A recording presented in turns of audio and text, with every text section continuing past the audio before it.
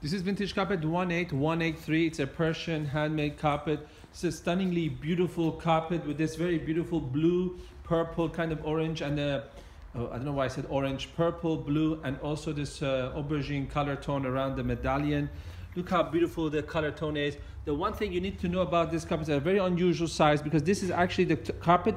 Original carpet was longer, but one part was unsavable. So we actually make this carpet stitch one side to the other. So if you see, this is why you can see a line going through the carpet. But this is how what we do with vintage carpets. We try to save them very eco-friendly and we don't try to throw anything away. So if you look at the design, you can see the medallion and then the bottom part of the medallion stops and there's a line. But it's a lot of work went to save this carpet because it's really a beautiful carpet and now in a very special size. If you have any further questions, feel free to contact us.